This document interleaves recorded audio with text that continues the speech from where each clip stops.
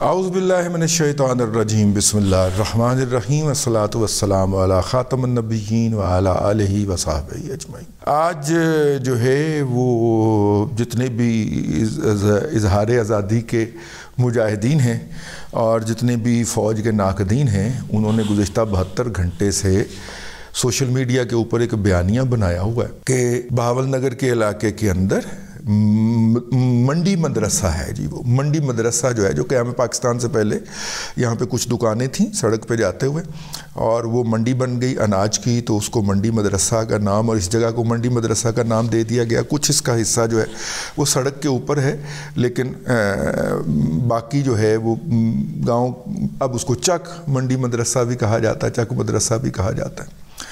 वहाँ पे जो थाना है उसके हदूद के अंदर एक वाक़ होता है। ये थाना जो है ये एक्सटेंशन है थाना तख्त महल की। और थाना तख्त महल जो है, है मतलब कि आप अंदा ये समझ लीजिए कि वाक़ होता है मंडी मदरसा में। असूली तौर पे वो थाना तख्त महल में जाना चाहिए वहाँ पे नहीं जाता। थाना ए और बी डिवीज़न जो है बहावल नगर के अंदर दोनों थाने एक बिल्डिंग में वाक़ है। तो तीन थानों पे हमला हो गया का बयानिया जो है, वो बेसिकली ये था। हाफजब शरीफ आदमी ने। ना थाना मदरसा पे हमला हुआ है और ना थाना ए डिवीज़न के ऊपर हमला हुआ है। थाना बी डिवीज़न के अंदर लड़ाई हुई है दोनों फ्रीकैन के दरमियान।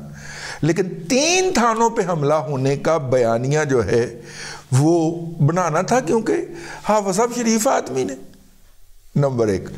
अच्छा मैंने ये इन्फॉर्मेशन जो है वहाँ पे ए, कुछ लोगों से ली हैं और उनमें जो मेन मेरे सोर्स हैं वो एक ऐसे साहब हैं उनका तासुब हो सकता है मैं पहले बता दूँ। और उनका तासुब इसलिए हो सकता है कि आज से कोई 22 से 23 साल पहले बल्कि इससे भी ज़्यादा अरसा पहले आ, उनको मुकामी पुलिस ने गिरफ़्तार किया और उनको पुलिस मुकाबले में पार करने के लिए थाना तख्त महल से मुलहिका जो था थाना या चौकी मदरसा मंडी लेके आई। हमारे दोस्त जो हैं वो चलाक निकले। पुलिस मुकाबले में कहा जाता है ना छोड़ के कि भाग अब। वो वाकई भाज गए। अब पीछे पीछे पुलिस आगे गए हो। आगे जाके ना तो उनको वहाँ पे जो था, वो एक मेजर साहब जा रहे थे। फौज की गाड़ी में जा रहे थे। ये उनकी गाड़ी के सामने जो थे जाके छलांग लगा दी इन्होंने। खैर, उन्होंने पूछा, क्या मसला? उन्होंने कहा, जी, मुझे पुलिस मुकाबले में मारना चाह रहे हैं। मेरे साहब ने कहा, पुलिस मुकाबले में तो तुम्हें मैं नहीं मारने दूँगा। खैर, वो उन्होंने रेस्क्यू किया। पीछे से पुलिस पार्टी आई। पुलिस पार्टी ने फायरिंग की। आगे से फौजी अफसरान ने भी फायरिंग की। फिर दोनों के दरमियान सीज़ फायर हुआ। फिर उन मेजर साहब ने जाके एसएसपी के सामने उनको सरेंडर किया। फिर उनका मुकदमा चला।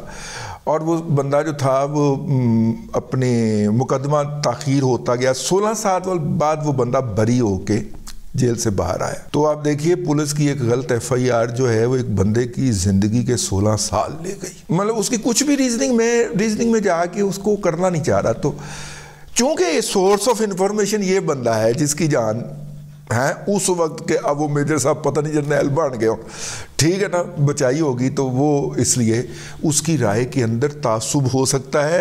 ये डिस्क्लेमर पहले जारी करना ज़रूरी है। और वो उसी इलाके के अंदर उसकी जो थी वो तो मैं बंदा लब बयान जी वो, जो कि मंडी मदरसा के अंदर उसको पूरा पता हो इंच इंच का। उन्होंने कहा, उन्होंने ये बताया कि जी दो हाजिर सर्वस जवान जो हैं वो छुट्टियों पे अपने घर आए हुए थे। तो कोई नाके के ऊपर कुछ नहीं हुआ। वो अपने घर के, होता नहीं घर से निकल के बंदा बाहर वहाँ पे बैठ जाता है दोस्तों के साथ गपशप करने, ठीक है? और, हैं, वो चल रही थी गपशप तो ऊपर से उसी इलाके के अंदर पुलिस का एक रजाकार, जो कि मतलब के सारे इंसान बराबर हैं, लेकिन जो कि मुसलियों की फैमिली से ताल्लुक़ रखता था। अब ये जाट है। और जाटों और मुसलियों का गाँव के अंदर जो एक ताल्लुक होता है, उसको आपने मद्देनज़र रखना है। अब मुसली साहब को पुलिस की वर्दी, पुलिस रजाकार की वर्दी पहना दी गई तो एक वैन उनके पास जाती है, जिसके अंदर एक ड्राइवर है, एक कांस्टेबल है, या हाँ कांस्टेबल है, और एक ये पुलिस रजाकार है। तो ये पुलिस रजाकार को भेजते हैं कि जाके इनसे पूछ के आओ कि यहाँ पे क्या कर रहे हैं। तो वो कहता है आगे अब सारे जाट जाट हैं जिन्होंने साल के साल दाने देने होते हैं मुसलियों को। ठीक है ना? तो उसने कहा वो तुम्हें नहीं पता हम कौन है? तुम इसी गाँव के रहने वाले हो। तुम्हें पता नहीं हम फलाने, हम जट है और हम चौधरी होते हैं इस इलाके के, हमारे अब्बा जी की ज़मीनें। तो तुम्हें नहीं पता हम कौन मतलब ये इतना लंबा तो नहीं कहा गया। उन्हें कहा, तेन, तुम्हें नहीं पता हम कौन है? अब वो साहब जो है, वो वापस जाते हैं। और वापस जाके, अब पता नहीं उन्होंने ड्राइवर को, ये तो जब तहकीकात होंगी, और तहकीकात शुरू होंगी हो चुकी हैं। उसने जाके वैगन वालों को क्या बताया है, या वो पुलिस वैन के अंदर जो बैठे हुए थे, उनको क्या बताया है? ये नहीं पता चला किसी को, ठीक है? लेकिन उसके बाद वो दोनों हजरात उतर आए, और उन्होंने आके उन जवानों के साथ बदतमीजी करना शुरू की। उन्होंने कहा कि यार उन्होंने कहा कि आप अपनी पहचान बताएँ, उन्होंने कहा हम आपको पहचान बता देते हैं भाई। लेकिन हम अब वो हमारा घर है, हम अपने घर के बाहर खड़े हुए हैं। हम आपको क्या पहचान बताएँ? ठीक है, आप अपना कार्ड दिखाएँ। इसके ऊपर तलखी हो गई। और इन दी मीन वाइल ज़ाहिर है कि ये नौजवान ज़्यादा थे, ये दो नौजवान तो थे ना फोर्सेस के। बाकी उनके कज़न वज़न थे, यार ईद पे वापस आए हुए थे, ईद करने वापस आए हुए थे। उसके ऊपर तलखी हो गई।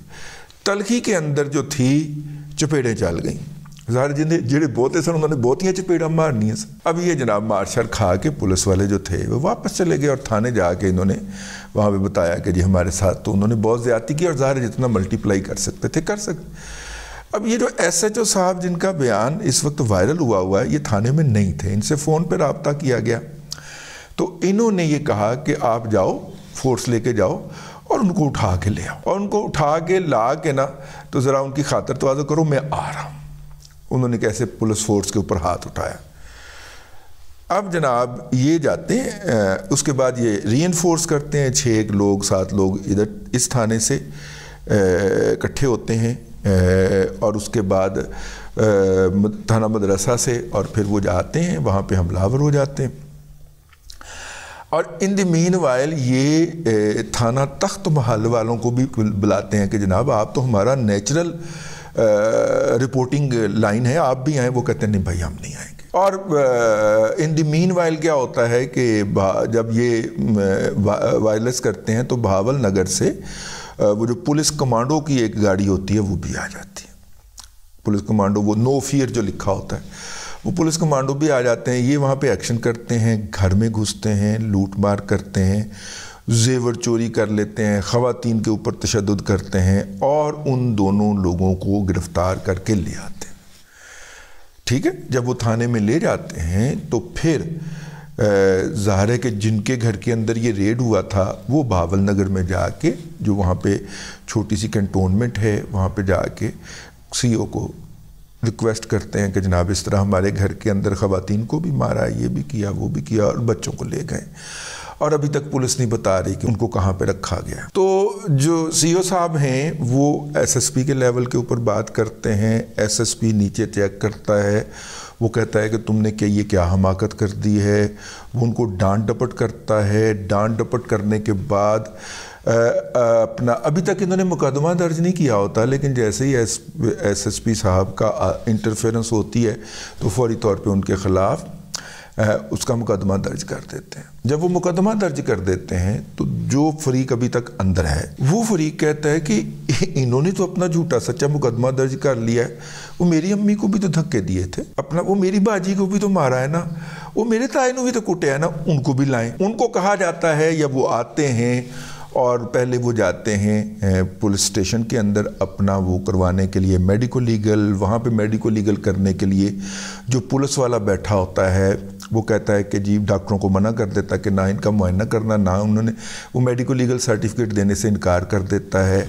वो फिर कैंट में बताते हैं, वहाँ से फिर रिक्वेस्ट आती है कि ये कर दें आप। नहीं करते जाते, फिर जनाब वहाँ से एक वैन आ जाती है, गाड़ी, बस अपना, गाड़ी आती है जिसमें पाँच छः लोग एन नॉन कमीशन ऑफिसर होते हैं, वो आके बात करते हैं।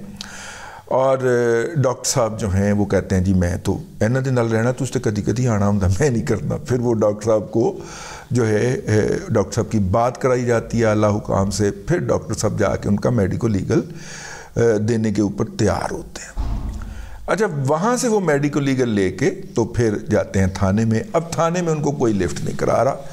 मुतलका थाने में जाके भी साढ़े बच्चों के खिलाफ तो मुकदमा दर्ज कर दिता है। साढ़ा केस भी तो सुनो ना यार, ठीक है ना? हमारे साथ भी तो जुल्म हुआ है ना, हमारा भी तो जेवर लूटा गया है ना हमारी भी तो पसलियाँ टूटी हैं। ये जब सारी कार्रवाई हो रही होती है तो इनके साथ ही थाना मदरसा जो जगह है या वो मंडी मदरसा के जो लोकल यूट्यूबर नहीं होते? वो साथ साथ कैमरा लेके घूम रहे हैं, ठीक है? अब जनाब वो वहाँ पे जाते हैं। अब पुलिस का वही रवैया है कि कोई लिफ्ट नहीं करानी है इन्होंने, ठीक है? जो कि एक रवायती रवैया है पुलिस का। उनको कोई लिफ्ट नहीं करा रहे। अब वो फिर फ़ोन करते हैं कि सारे थे तो कोई लिफ्ट ही नहीं करा रहा। तो जब वो उधर फ़ोन करते हैं तो वो कहते हैं कि ठीक है, आप ठहरें जवानों को भेज रहे हैं। तो फिर वहाँ पे एनसीओ जो है, वो आते हैं। और एन सी साहब जो आते हैं अब ये बात जहन में रखनी है कि दो थानों की एक ही बिल्डिंग एक थाने के साथ ये मामला तो वहाँ पे आते हैं। और वो आके उनको समझाने की कोशिश करते हैं। ज़ाहिर आगे पुलिस वाले थे। पुलिस वाले भी नहीं समझते। ठीक है, वहाँ पे तलखी होती है। बुनियादी तौर पे एक पुलिस रजाकार की ततूनी से शुरू होने वाला काम जो है वो इस लेवल पे चला जाता है।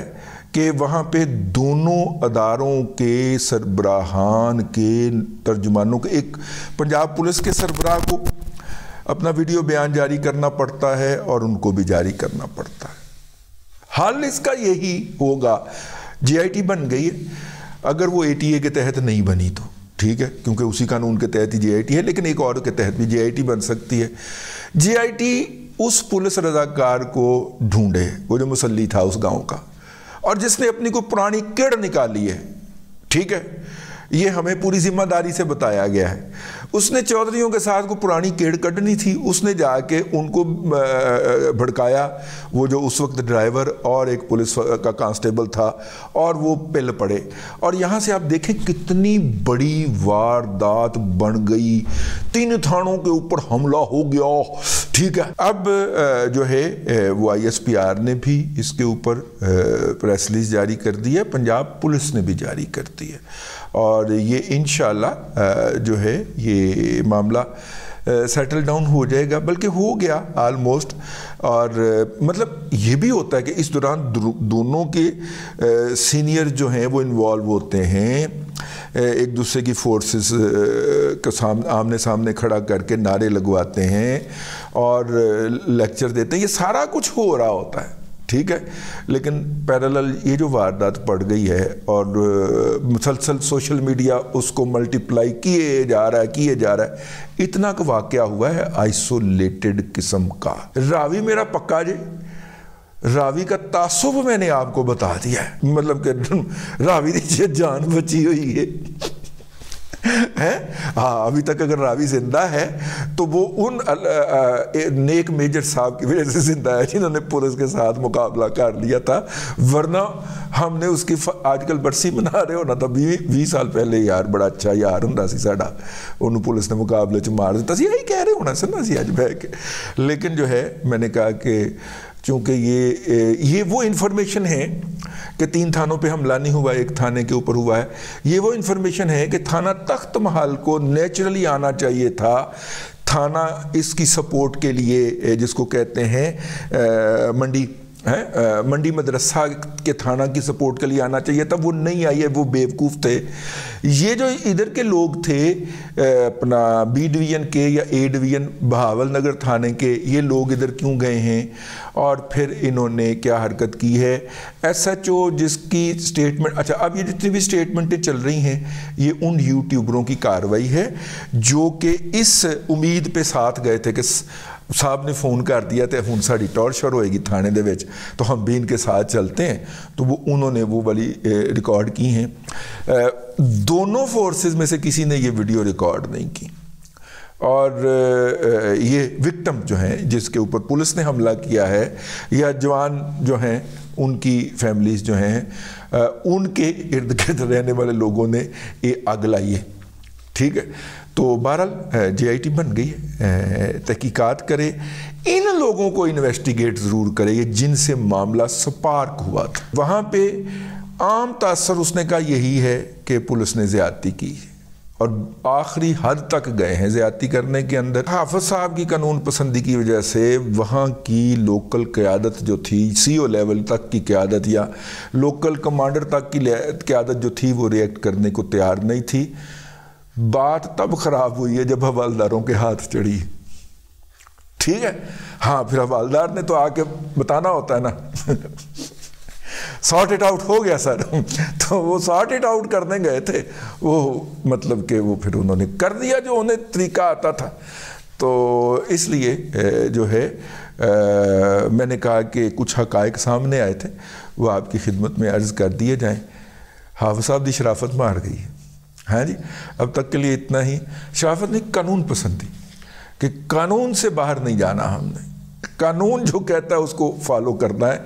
अब आगे कानून का इतलाक करने वाले उसको फॉलो ना कर रहे हों या डिलेइंग टैक्टिक्स कर रहे हों तो आप सब फिर बच्चा क्या करे? उसने ईद की छुट्टियाँ गुजार के वापस भी तो जाना था ना यूनिट में। तो क्या मुँह लेके जाता? अब तक के लिए इतना ही। अगले व्लॉग के अंदर फिर हाज़िरी होती है। अल्लाह तबारक व ताली आपको आसानियाँ अता करे और आसानियाँ खल के खुदा में तकसीम करने की तोफ़ी अता करे।